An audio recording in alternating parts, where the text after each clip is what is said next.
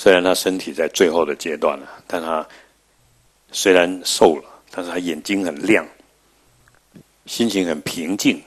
我认为这个很重要，因为对我们来讲，我们每个人都要面对死亡，我们自己都会想会怕，到底我有没有能力面对啊？但是让我看到一个修行者，他在思维空性般若经典。那我我师公为什么要读般若经典？因为他想要用般若经典让自己安住在空性，这个就是一种修行，而且透过念阿弥陀佛来消业障。因为他最大的目的，他一个生命最大的目的，我师公一辈子修行最大的几个字，来念一下：发菩提心，一心念佛，求生净土。他一辈子，他的生命就是这十二个字。这个很重要啊，各位！如果每个人的生命，如果你把你生命定在儿子啊、事业啊、感情啊，那因为这些东西会让你痛苦。啊，就像我从小很佩服孙中山先生，我们在叫国父啊，所以我永远记着他要往生的时候啊，他念的什么？来念一下：革命、奋斗、救中国啊，也就代表他的意志。只是现在我们学佛了，讲革命奋斗好像不对，要讲慈悲智慧救中国。革命还要打仗呢啊！那因为在他的范围，他已经达到一个极点的人，但是因为他还没有了解佛法，那我师师公就不一样，发菩提心念佛求生净土，啊，然后趁愿再来继续再发菩提心，所以因为这种法的力量，可以超越他身体的老化变化。那各位，你想想看。我们几个人能够如此，但是整个世界的人，大部分很少人有这个力量。再来，那些动物到轨道，所以我们为什么一直帮他念佛？就希望他忘了他的痛苦，放下这个痛苦是一个业报，不是真正的你。真正的你是空性，是慈悲心，是佛性。所以念了这么多 佛号经典，就是要提醒。往生者，但是各位要记住，来提醒自己，永远记住，这个叫保持正念。钱不见了，身体老化了，你爱的人离开你了，你那时候会觉得失落，很痛苦。那时候你要保持正念，提醒自己。所以最后就告诉自己，身体可以死亡，但是我的佛性、菩提心、念佛。这个不能死掉，啊，这个就是佛教的重点。念一下：体悟无常，接受无常，一心念佛，啊，就是这个意思了。所以，如果你问我吧，修行在做什么？修行就是这个是基本的努力。如果把你把快乐定在世间的成功，啊。爸爸妈妈健康，儿女听话健康，自己家庭健康快乐，那你会失望的，因为他他就随着因缘在改变吧，啊，这个因缘不见得说出家人因缘就比在家人很好。虽然我们这辈子也可以出家，但是我们的身体状况不见得各位好，啊，我们的各种状况 只是说有因缘出家这样而已，那只是说。既然出家，那是有因缘学佛。那我们在碰到事情的时候，你如何用佛法去调整它？所以上回我们有一个居士，好像是在哪一个地方啊？前辈拿走了。所以各位在欧洲，大家聚在一起，皮包放这边，你要小心。你聊得很快乐的时候，一回来，哦，皮不见了。啊，所以有一次是在在印尼机场也碰过一次。啊，都是居士来跟我们聊天，啊，他一跟我们聊天，我们坐这边，他们一定坐在最外面，对不对？那就跟我们聊天，聊聊聊，哎，还转头就不见了。所以，因为你专心在聊的时候，就有人会坐在你旁边的桌子嘛，就在等机会了，特别机场啊。那但是我就看他怎么反应啊，他掉了以后，嗯，随缘吧。跟他结缘吧，我们厉害 啊，这叫修行。他如果不会修行啊，怎么办？师傅怎么办？他乱了，我们要掉录影带了啊，这怎么办啊？所以，当然，我想各位这些状况，你还是要去学习念下来。观修无常，这个观修无常也叫禅修无常，就是说，你现在拥有了这些东西，你要打坐的时候，或者你在散步要去想。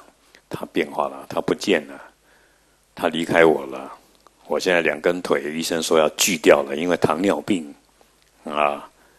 所以就像我一样，我每天都必须用讲话，呃，这是我唯一的利用价值。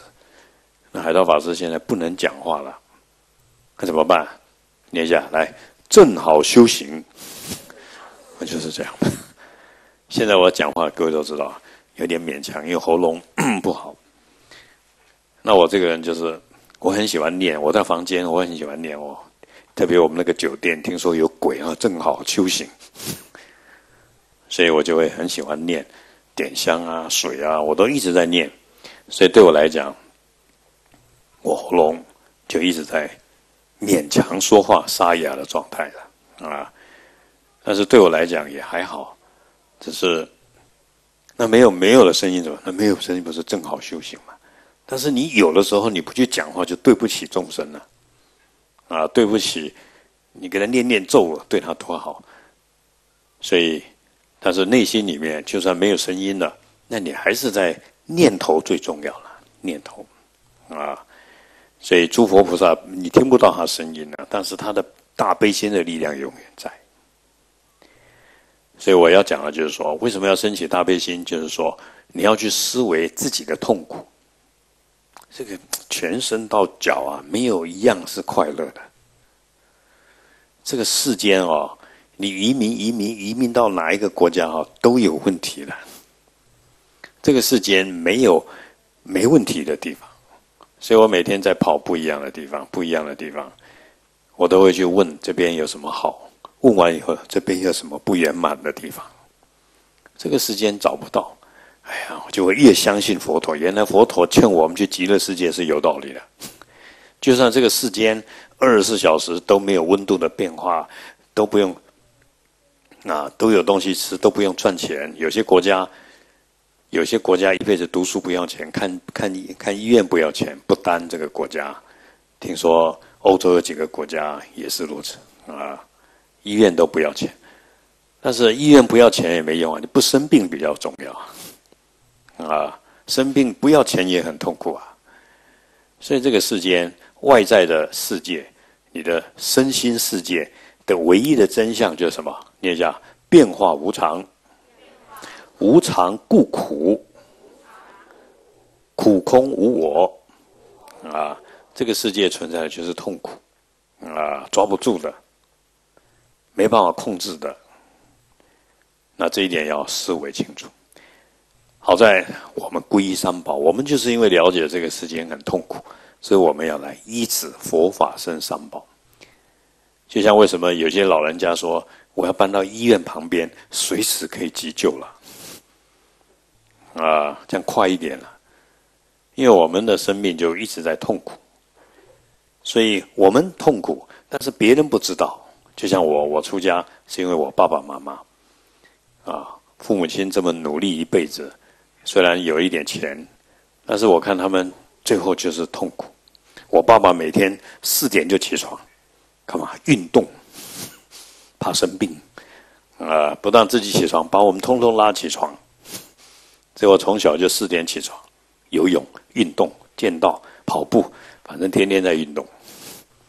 啊，从小就训练，因为他认为身体很重要。但是身体很重要。还是会生病啊，啊，所以很痛苦。所以这个世间，各位要多去思维这个道理。那父母对我们这么好，都这么痛苦，那我们念一下我从小的习惯来，专心就是天才。啊，听佛法的时候啊，你不要吵我。啊，老师上课的时候啊，我都很安静。因为我不我回去可以不用再看课本，因为老师在上课，我就会很专心的一直听这样。因为我要把它装进去这样，然后下课以后我还会再思维一遍。如果下一节课老师没有来，我可以再讲一遍。各位要学这个叫复讲，复讲。我看完一遍《心经》，我就可以把《心经》的我体悟的要点，虽然不圆满，告诉对方。各位一定要学这个，这个是菩提心呢。念一下“劝进行者”，啊，就是说你听这个佛法，像各位今天听完了，你一定要回家告诉你的亲戚朋友，这个是个悲心。如果你不讲。这个佛法对你就没有用，因为你不符合慈悲，听佛法对你没用。最好你明天就拿了麦克风开始讲，最好你把今天听闻到的佛法，通过你的网络，不管什么东西，就打重点就传出去了。最好把今天的所有法会的这种功德，透过各种管道资讯传出去，让大家一下同享功德。那这就是什么？这就是悲心。你不能说我喜欢做，我不喜欢做，因为因为全法法国人都知道，所以要让全世界的人都知道啊。所以各位要透过你的悲心呢。如果你有这个悲心，像我们这次在这边参加法会，地狱道的众生都听得到。所以三位格西今天在上面要修三种法，我们都来随喜功德来。大威德金刚超度法。啊，这个大威德金刚是文殊菩萨的视线，然后呢，断除众生的这种我执，所以众生之所以在地狱道、恶鬼道，是因为他有这个执着，所以文殊菩萨显现成大威德金刚来断除他们的执着，超度他们。啊，叫大威德超度。下午修什么来？药师佛超度，啊，再来再用药师佛的这种力量，让他们脱离三恶道，让他们得到世间的福报。药师佛最后的目的就是希望他们往生西方极乐世界，八大菩萨接引。那各位所写的红色的牌位，念一下度母消灾，啊，就要念度母观音菩萨的视线。来为我们的所有消灾派位，能够让他们脱离各种身心世间的痛苦。那我这样说的意思，各位就要做一个悲心，愿这三种的消灾超度法，遍及整个法国，以及所有老人院、孤儿院，遍及整个地球世界，遍及所有六道。啊，念一下：地狱道、恶鬼道。动物道、各种人类、人类往生者、天道、阿修罗道，啊，皆同享功德，就是这个意思了。为什么要让它转？它转，它就在动啊。然后透过风，但是我们是透过我们的心态，你的心态。所以什么叫空性呢？这样讲比较快。空性就是说，你的心跟每一只蚂蚁都连在一起。你的心跟最高的天神都连在一起，就像母子连心一样。啊，你做妈妈的怎么做都会想到儿子，连睡觉睡醒也会想到儿子，因为妈妈已经习惯心跟儿子连在一起，这个叫执着了。啊，那修佛教呢，你不能有特殊的执着，如果你有特殊的执着，就会妨碍你的悲心，那怎么办？那很简单啊。把执着儿子的爱来执着众生，那就解决了。那这里面就包含你儿子了，也就是说，你的心跟所有的众生都连在一起。包括我，我为什么天天跑来跑去？因为我师傅说，你要跑遍世界每一个角落，这辈子没跑完呢，下辈子要继续跑，永远在跑。为什么？连接关系。就像各位这次来我们潮州协会，各位在这边。参加法会消灾拔度，我认为很多人都会来这边拜拜。拜拜的目的，他就是希望消灾啊、拔度啊、祈愿呐，啊。那你要你要把你的心跟潮州协会连在一起，以及来潮州协会的所有人。那潮州协会在这个地方那你要观察，它影响了整个社